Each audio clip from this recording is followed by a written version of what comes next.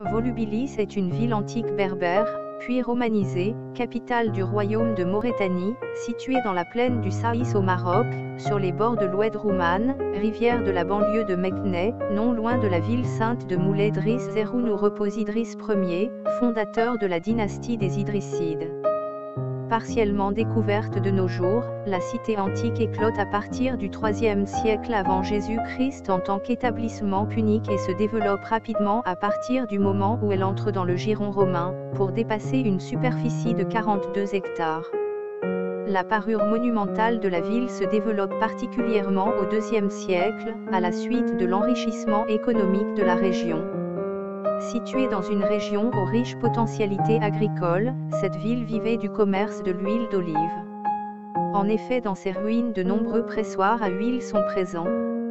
Cet enrichissement se traduit également dans l'architecture privée par la construction de vastes villas pourvues de belles mosaïques, la cité apparaissant comme un centre de rayonnement de la civilisation romaine en Maurétanie tingitane, selon Brahmi.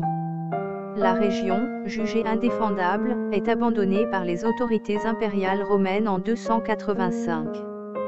La ville, communauté urbaine christianisée, puis cité musulmane, continue d'être habitée pendant sept siècles.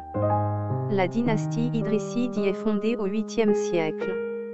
Au XIe siècle le site est abandonné et la population est transférée à 5 km de là, vers la cité de Mouledris Zeroun la ville ne subit pas de dégradation conséquente semble-t-il jusqu'à un tremblement de terre au milieu du XVIIIe siècle. Par la suite, les ruines sont utilisées comme carrières, en particulier pour les constructions de Meknès. Identifié plus tardivement au XIXe siècle, le site fait partie du patrimoine protégé du Maroc depuis 1921.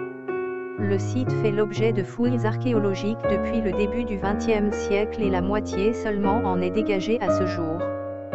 La qualité des trouvailles et du site a abouti à son classement sur la liste du patrimoine mondial par l'UNESCO. Exemple éminent d'un ensemble architectural illustrant l'organisation de l'administration punique, pré-romaine et romaine en Afrique, Volubilis est aussi le lieu de permanence des sociétés qui ont habité le Maghreb extrême, selon Liman, Rebuffa et Drocourt.